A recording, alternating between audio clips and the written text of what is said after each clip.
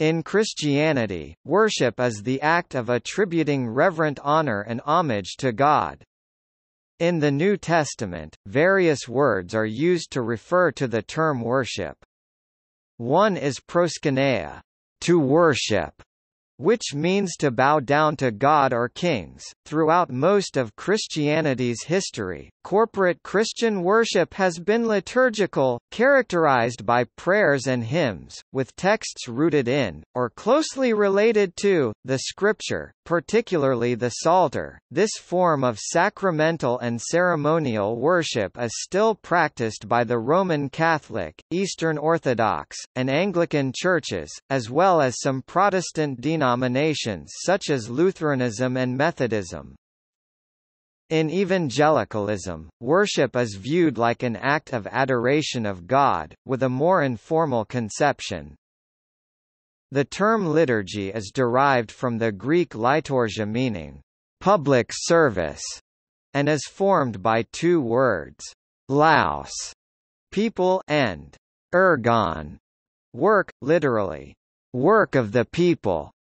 Responsorial prayers are a series of petitions read or sung by a leader with responses made by the congregation. Set times for prayer during the day were established based substantially on Jewish models, and a festal cycle throughout the church year governed the celebration of feasts and holy days pertaining to the events in the life of Jesus, the lives of the saints, and aspects of the Godhead. A great deal of emphasis was placed on the forms of worship, as they were seen in terms of the Latin phrase lex orandi, lex credendi. The rule of prayer is the rule of belief. That is, the specifics of one's worship express, teach, and govern the doctrinal beliefs of the community. According to this view, alterations in the patterns and content of worship would necessarily reflect a change in the faith itself. Each time a heresy arose in the Church, it was typically accompanied by a shift in worship for the heretical group. Orthodoxy in faith also meant orthodoxy in worship, and vice versa. Thus, unity in Christian worship was understood to be a fulfillment of Jesus' words that the time was at hand when true worshippers would worship in spirit and in truth. John chapter 4 verse 23.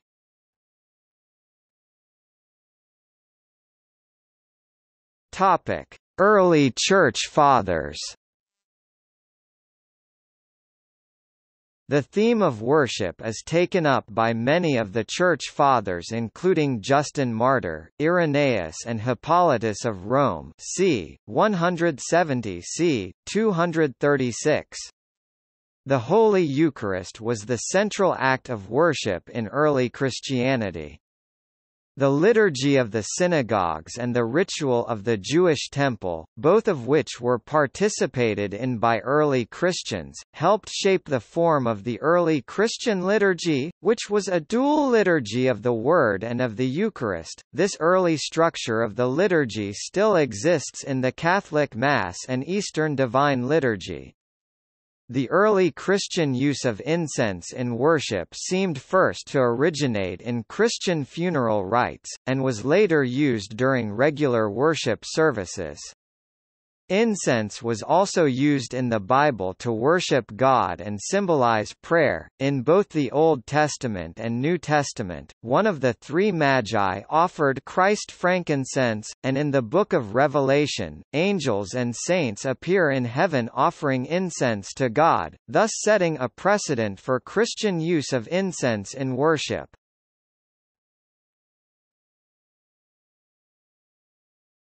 Topic. From Jewish to Christian services The first miracle of the Apostles, the healing of the crippled man on the temple steps, occurred because Peter and John went to the temple to pray Acts chapter 3 verse 1. Since the Apostles were originally Jews, see Jewish Christians, the concept of fixed hours for services, and services therefore which differed from weekday to Sabbath to holy day, were familiar to them. Pliny the Younger 63 ca. 113, who was not a Christian himself, mentions not only fixed times of prayer by believers, but also specific services, other than the Eucharist. Assigned to those times. They met on a stated day before it was light, and addressed a form of prayer to Christ, as to a divinity, after which it was their custom to separate, and then reassemble, to eat in common a harmless meal. The real evolution of the Christian service in the first century is shrouded in mystery. By the 2nd and 3rd centuries, such church fathers as Clement of Alexandria, Origen, and Tertullian wrote of formalized, regular services, the practice of morning and evening prayer, and prayers at the third hour of the day terce, the sixth hour of the day sext, and the ninth hour of the day none. With reference to the Jewish practices, it is surely no coincidence that these major hours of prayer correspond to the first and last hour of the conventional day, and that on Sundays corresponding to the Sabbath in Christianity, the services are more complex and longer involving twice as many services if one counts the Eucharist and the afternoon service. Similarly, the liturgical year from Christmas via Easter to Pentecost covers roughly five months, the other seven having no major services linked to the work of Christ. However, this is not to say that the Jewish services were copied or deliberately substituted, see supersessionism.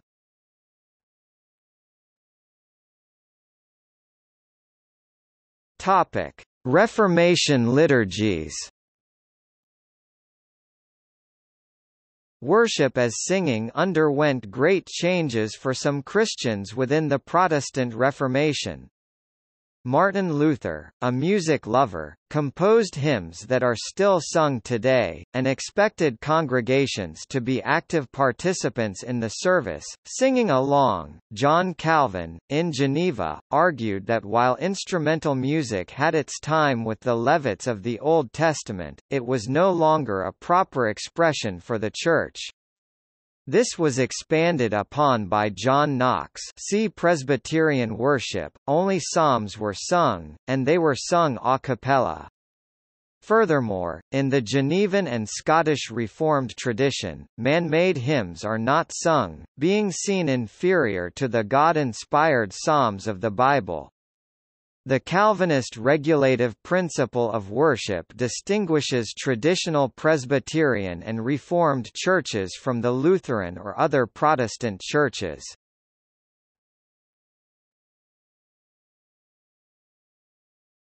Topic: Present day.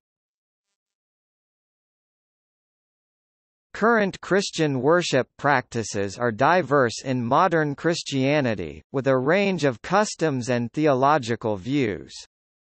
Three broad groupings can be identified, and whilst some elements are universal, style and content varies greatly due to the history and differing emphases of the various branches of Christianity. In many Christian traditions, regular public worship is complemented by worship in private and small groups, such as meditation, prayer and study.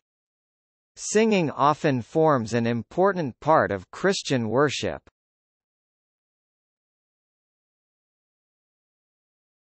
Topic: Common elements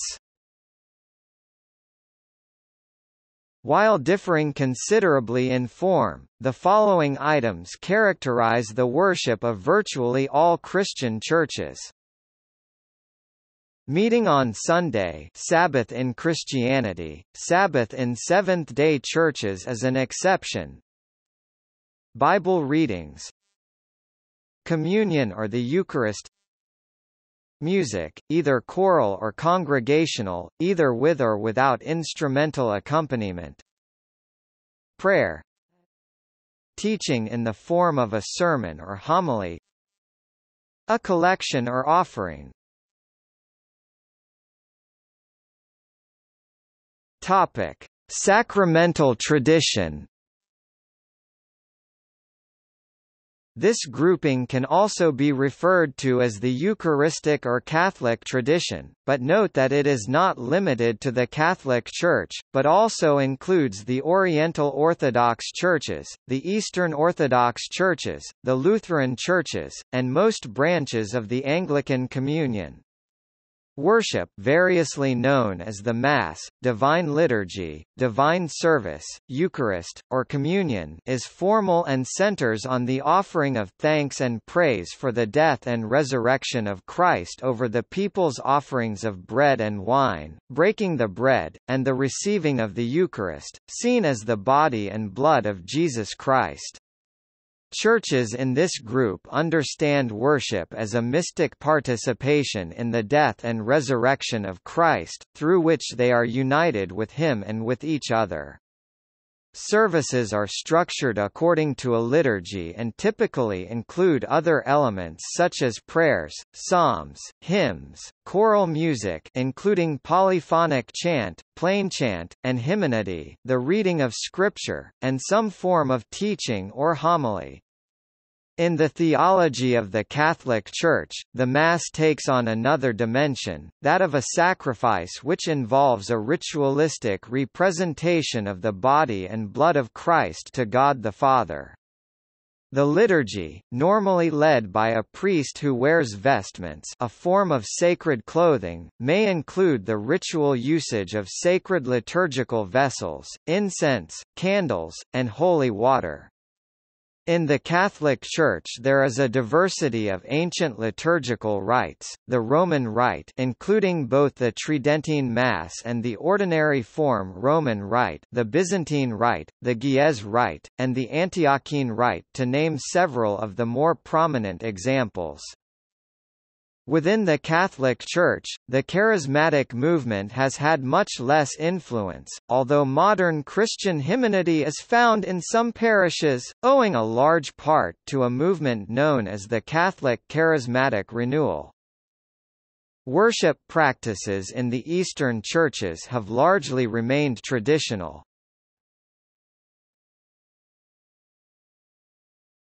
Topic: Reformation tradition In many Protestant groups, such as the Methodist and Reformed churches and some parts of the Anglican Communion, corporate worship is shaped by the legacy of the Reformation. Worship in such a context also generally features spoken prayer either unscripted or prepared, scripture readings, congregational singing of hymns, and a sermon. Some liturgy is normally used but may not be described as such. The Lord's Supper, or Communion, is celebrated less frequently intervals vary from once a week to annually according to the denomination or local church. Vestments are less elaborate or absent.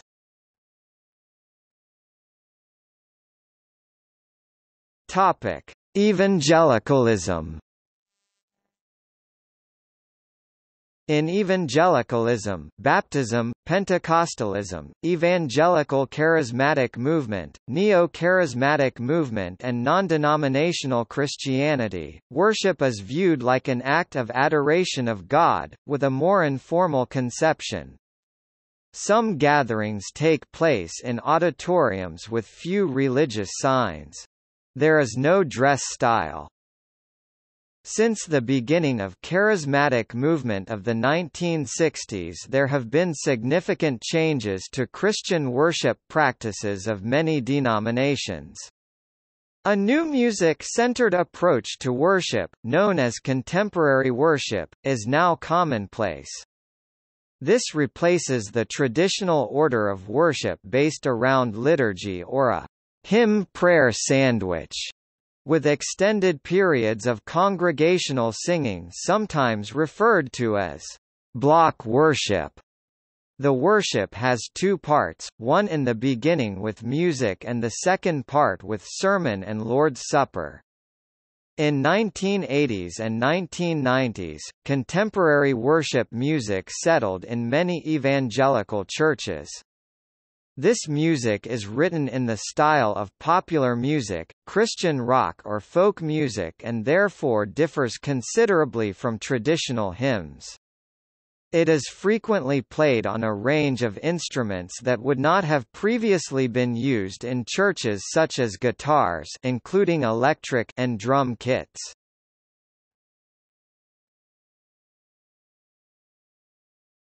Topic: Types of Christian worship.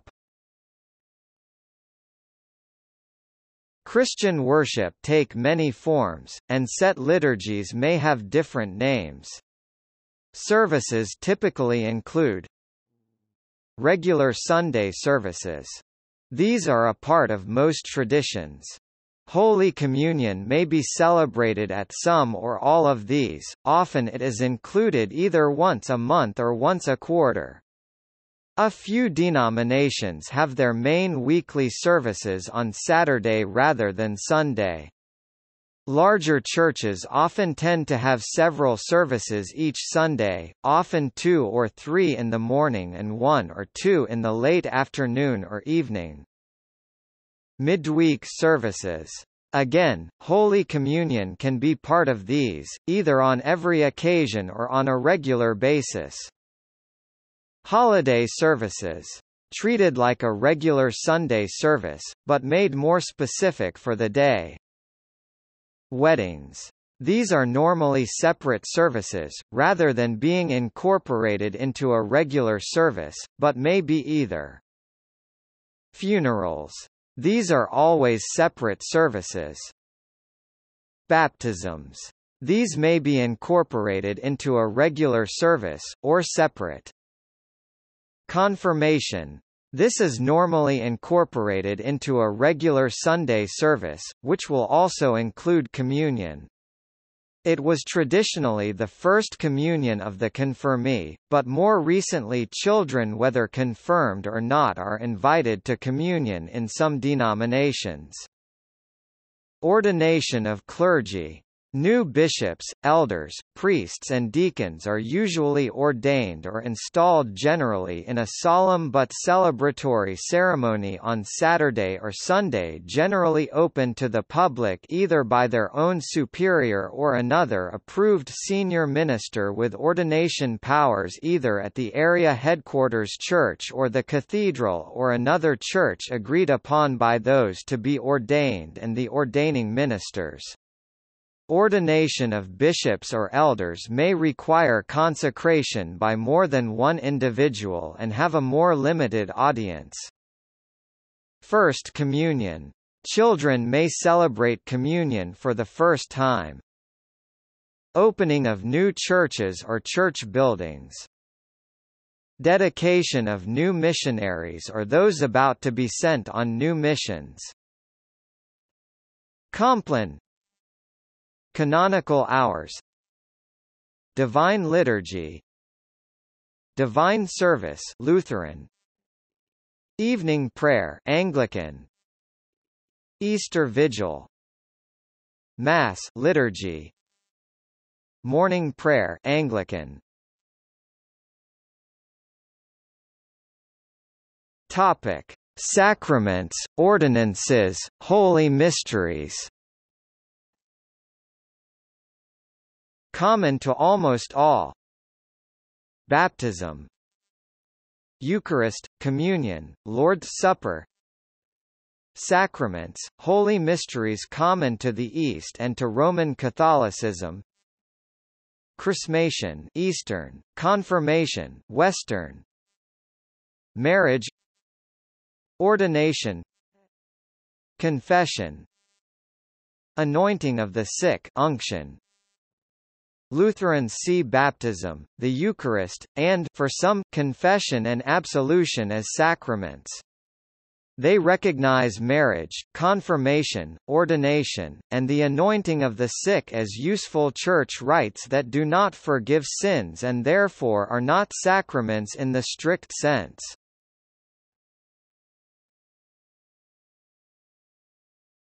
Topic: Other liturgical traditions, non-sacraments. Traditions common to Eastern Christianity and to Roman Catholicism. Canonical hours. Vespers.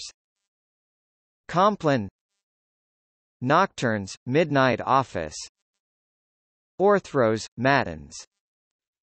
Funeral service Eastern Christianity Eastern Catholic, Eastern Orthodox, and Oriental Orthodox.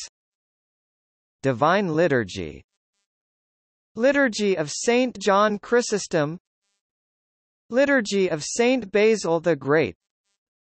Liturgy of Saint James. Liturgy of Saint Mark. Liturgy of Addai and Mari. Presanctified Liturgy Paraclesis Moleben Akathist Catholicism Latin Rite Liturgy of the Hours Lauds Vespers Mass Tenebrae Stations of the Cross. Topic Major collections Book of Common Prayer Topic: Prayer. Prayer in Christianity. Intercession. Prayer in the New Testament. Lord's Prayer. Jesus Prayer. Hail Mary. Topic: Psalms. Psalms. Topic: Profession of faith. Apostles' Creed, Nicene Creed, Athanasian Creed, Chalcedonian Creed, Tridentine Creed, a new creed. Topic: Other. Christian meditation. Topic: Music.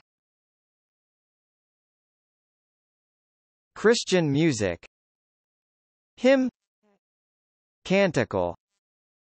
Chorale Topic. Chant. Byzantine chant. Gregorian chant. Russian chant. Coptic chant. Anglican chant. Topic: Classical and Baroque. Johann Sebastian Bach George Frideric Handel. Mass music. Topic. Modern. Spiritual music. Gospel music. Olivier Messiaen. Topic. Contemporary Contemporary Christian music Contemporary worship music. Topic. See also. Alternative worship. Church service. Contemporary worship. Devotional literature. Service of worship Theological aesthetics